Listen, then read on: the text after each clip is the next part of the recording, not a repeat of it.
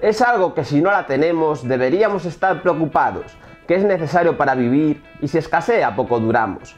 La pedimos para la gente, sobre todo si está enferma, y que aunque estemos sanos siempre tenemos en cuenta. Lo imploran las madres para aquellos que más quieren, cuando se brindan la mesa o cuando alguien que estornuda con una cierta sorpresa. Es tan necesaria que con dinero no se puede comprar, y que algunos la poseen y otros les suele faltar. Y que junto al amor estas tres cosas hay en la vida. Yo os deseo que nos falte y me despido, pues ya se me acaban las rimas.